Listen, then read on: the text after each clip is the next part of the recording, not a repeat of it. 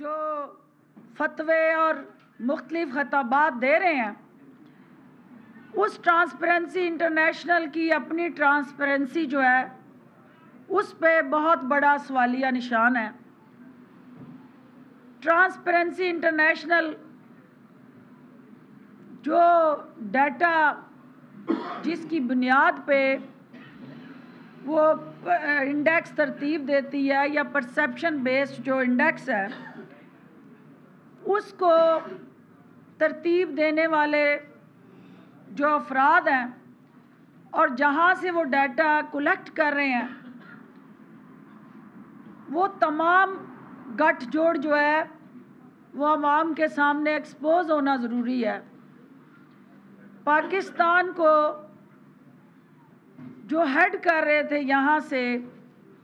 Transparency international کو، Pakistan chapter کو ان موصوف نے جو سابقہ ادوار میں پی ایم ایل این کی قیادت کو، حکومت کو جس طرح پذیرائی بخشی اور ان کو کرپشن کو کم کرنے کے حوالے سے ایک ایسا سنگین مذاق نامہ اس رپورٹ میں ریفلیکٹ کیا۔ ان کو نوازنے کے لیے سالہ کارکردگی پہ سفیر کے عہدے پہ تعینات کیا گیا۔ اور اسی حکومت نے ان کی جو نوازشات تھیں موصوف پہ، وہ ایک سفیر کی حیثیت سے تعیناتی۔ اور ہمارا قصور یہ ہے کہ ہم نے ان کے اس عہدے میں ایکسٹینشن نہیں کی اور وہ اپنے وقت پہ ریٹائر ہو گئے ہیں۔ دوسری بات یہ کہ یہ کون مانے گا اس رپورٹ کو؟ کہ جس رپورٹ کے اندر یہ کہا گیا کہ سب سے زیادہ کرپشن مشرف دور میں ہوئی، پھر عمران خان کے دور کو زیر بحث لایا گیا، اس کے بعد پیپلز پارٹی کا نمبر اور پی ایم ایل این کے دور میں سب سے کم۔ یہ رپورٹ پڑھ کے سوائے آپ ہنس سکتے ہیں اور اس پہ قوالی ہی کر سکتے ہیں ادروائز جو یہ کہے کہ جن کو پاکستان کی عدالتیں کرپشن کنگز قرار دے رہی تھیں اور کرپشن کنگز کے مختلف کارنامے اور سیاہ کاریاں عدالتوں میں زیر سماعت ہیں۔ ان جماعتوں کے حوالے سے یہ رپورٹ جو ہے، ان کو جس طرح سے کلین چٹ دیتی ہے، اس کا مطلب یہ ہوا کہ یہ فیئر فری ٹرانسپیرنٹ رپورٹ نہیں ہے۔ یہ رپورٹ بائسڈ ہے اور ہمارے وہ سیاسی طور پہ اس وقت قوم نے جن کو مسترد کیا ہوا تھا، وہ باہر بیٹھ کے پاکستان کے عوام جنہوں نے وزیر اعظم پاکستان کو پاکستان سے کرپشن اور کرپٹ پریکٹسز کے خاتمے کے لیے چنا ہے، ان میں مایوسی اور بد دلی پھیلانے کے لیے یہ ایک مینجڈ اور ٹارگیٹڈ ایجنڈا ہے۔ وزیر اعظم پاکستان اس بات پہ کنونسڈ ہیں کہ جو مینڈیٹ پاکستان کے عوام نے ان کو دیا ہے، انشاءاللہ اس پہ منوان عمل ہوگا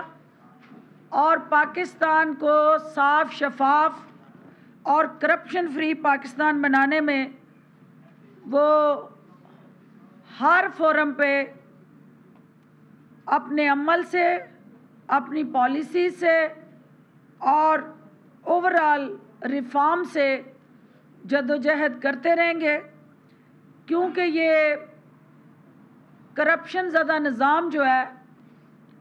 اور اس کے جو بینیفیشریز ہیں، یہ ایک آرگنائزڈ نیٹ ورک ہے جو ایک دوسرے کو سپورٹ کرتا ہے اور ہر جگہ ان کے اعلی کار ہیں جو ان کے سیاہ کاریوں کو تحفظ دیتے ہیں۔ عمران خان صاحب نے کرپشن اور کرپٹ عناصر سے نہ کبھی سمجھوتا کیا اور نہ آئندہ کریں گے۔ Corruption kings Transparency International report کو اپنے گناہ چھپانے کے لیے آڑ کے طور پہ استعمال کر رہے ہیں، جس پہ انہیں مایوسی ہوگی۔ موڈیز میں دیگر بین الاقوامی جو ادارے ہیں، وہ موجودہ حکومت کی معاشی اشاروں میں بہتری کی نہ صرف تائید کر رہے ہیں، بلکہ اس کو اپریشیٹ کر رہے ہیں۔ وزیر اعظم پاکستان کا بین الاقوامی اقتصادی فورم میں دنیا کے دیگر بین الاقوامی لیڈران اور مختلف کمپنیز کے ہیڈز کے ساتھ جو ملاقاتیں ہیں اور ان کی پاکستان کے اندر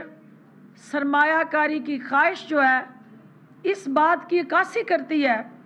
کہ دنیا نئے پاکستان کے ساتھ کندھے سے کندھا ملا کے چلنا چاہتی ہے اور دنیا نئے پاکستان میں جس کی قیادت پہ کوئی داغ نہیں ہے، اس کی کریڈیبلٹی کو مانتی ہے، اس کی کریڈیبلٹی کو اون کرتی ہے اور اس قسم کی رپورٹیں جو ہیں وہ دنیا کو گمراہ نہیں کر سکتی۔ اور جو انڈیکس ہے، اس میں دیکھنے کی بات یہ ہے کہ جو آپ کی ریکوریز ہیں، جتنی ایک سال میں کرپٹ عناصر سے ریکوریز ہوئی کرپشن کے لیے ڈیٹرنس بنی، وہ پچھلے دس سال میں اس کا کوئی نظیر نہیں ملتی اور وہ سب ایک سال میں ہونے والی ریکوریز پچھلے دس سالوں سے زیادہ ہیں۔ اس کے ساتھ ساتھ ڈیٹا اکٹھا کرنے والے جو ٹرانسپیرنسی انٹرنیشنل کے جو میکنزم اور ایک ان کا طریقہ کار ہے، ہم یہ چاہیں گے کہ وہ میڈیا میں آئیں۔ ان کے جو یہاں نمائندے ہیں وہ عوام کو بھی آگاہ کریں، حکومت کو بھی بتائیں کہ حکومت کے اندر بیٹھے کوئی کون سے ایسے افراد، کوئی حکومتی عہدے دار یا پاکستان تحریک انصاف کے ساتھ جڑا کوئی شخص، اس پرسیپشن انڈیکیٹر جو انہوں نے بنائے اور ایک انڈیکس ترتیب دیا، کہاں اس حکومت کی پرسیپشن کے ساتھ کسی کا کنڈکٹ جڑتا ہے اور اس کا طریقہ کار کیا ہے اور کس بنیاد پہ آپ نے اس حکومت کو ان انڈیکیٹرز کے ساتھ جوڑ کے target oriented plan and planted report جو ہے آپ نے شائع کیا جس پہ ہمیں شدید تحفظات ہیں اور ہم اس کو یکسر مسترد کرتے ہیں۔ اس کے علاوہ چونکہ وزیر اعظم پاکستان کا کرپشن اور بدعنوانی کا خاتمہ نصب العین ہے اور اس ایجنڈے کو پاکستان تحریک انصاف جو ہے آگے لے کے چل رہی ہے اور انشاءاللہ ہم اس ایجنڈے کو مکمل کریں گے۔ ایک اہم بات جو کرپشن کنگز ایسی تنظیموں کی باہر بیٹھ کے ڈوریاں ہلا رہے ہیں وہ آج ڈاکٹر عدنان صاحب منظر عام پہ نہیں ہیں۔ ہم یہ چاہتے ہیں کہ ٹرانسپیرنسی انٹرنیشنل کی رپورٹ کو زیر بحث لانے کی بجائے میاں محمد نواز شریف صاحب کے پلیٹلیٹس کاؤنٹس کی رپورٹ کے متعلق آگاہی دی جائے۔ اور ڈاکٹر عدنان صاحب، جو ہر چار گھنٹے بعد، دو گھنٹے بعد لمحہ بلمحہ میاں صاحب کے پلیٹلیٹ کاؤنٹ کے حوالے سے ہمیں آگاہ کیا کرتے تھے۔ وہ اس ایسے ملک میں ہیں جہاں جدید ترین لیبارٹریز ہیں اور جہاں بہت آسن انداز سے ہر مرض کا ڈائگنوسس ہو جاتا ہے۔ کئی ہفتے گزر گئے، انہیں پردیس گئے ہوئے۔ ابھی تک وہاں سے ہمیں میاں صاحب کے پلیٹلیٹ کے حوالے سے کوئی خبر نہیں آئی ہے۔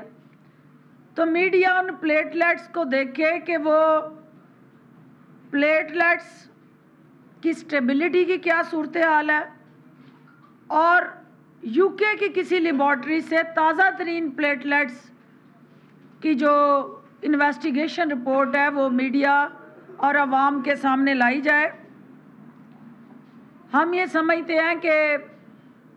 یہ مینجڈ رپورٹ ہے اور پاکستان تحریک انصاف نے کبھی کسی کو مینج کر کے ایسی رپورٹوں کی اشاعت نہیں کی جو سابقہ ادوار میں ایسے اداروں کو مینج کرتے رہے۔ وہی لوگ جو ہیں، یہ ان کی استادی ہے اور کارستانی ہے کہ اپنے دور میں انہوں نے جہاں کرپشن کی داستانیں لکھی جا رہی تھیں، اس وقت اپنی حمایت میں یہ رپورٹیں لکھوائیں اور آج جب یہ حکومت کرپشن کے خلاف جہاد کر رہی ہے۔ اور اس معاشرے اور نظام کی جڑوں میں پھیلا یہ کرپشن کا جو کینسر ہے، اس کا صفایا کرنے کے لیے وزیر اعظم پاکستان دن رات کوشاں ہیں۔ تو اس حکومت کے اوپر انہوں نے سوالیہ نشان لگائے ہیں۔ اور یہ اس بات کی غمازی کرتا ہے کہ ٹرانسپرنسی انٹرنیشنل کے تانے بانے جن جماعتوں کے ساتھ ملتے ہیں اور جن کو وہ کلیئرنس سرٹیفکیٹ دے رہے ہیں اور جن کی رینکنگ کو بہتر بنا کے پیش کر رہے ہیں، یہ خود رپورٹ عوام کی عدالت میں مسترد ہو چکی ہے کیونکہ یہ گٹھ جوڑ یہاں ہو چکا ہے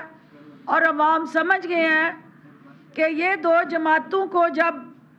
پرسپشن انڈیکس میں بہتری کی بات کرتے ہیں تو عوام اس کا مذاق اڑا رہے ہیں۔ کیونکہ سندھ کے اندر اگر آپ یہ کہتے ہیں کہ وہاں کرپشن فری گورننس ہو رہی ہے یا overall P M L N کا ٹنور جو ہے، اس کی رینکنگ میں آپ کوئی اس قسم کا مینجڈ ٹارگیٹڈ اور پلانٹڈ نیریٹو دیتے ہیں، تو عوام جو ہے ایسی کسی رپورٹ کو نہ اون کرتے ہیں اور نہ ہم اس پہ کوئی کان دھریں گے۔ ہمارا جو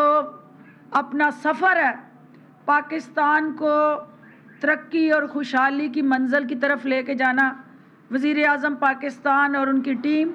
اس منزل کی طرف رواں دوا ہے اور انشاءاللہ اس قسم کی رپورٹیں جو ہیں وہ ہمیں اپنے اہداف سے ادھر ادھر نہیں ہٹا سکتی اور ہم اپنی منزل کی طرف رواں دوا رہیں گے۔ باری باری کر۔